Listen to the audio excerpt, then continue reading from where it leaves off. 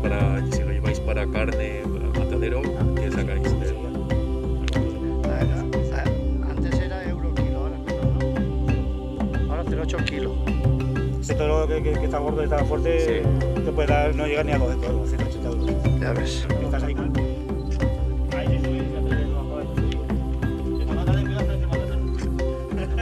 Aquí es todo un burradero, se burlan todos de ti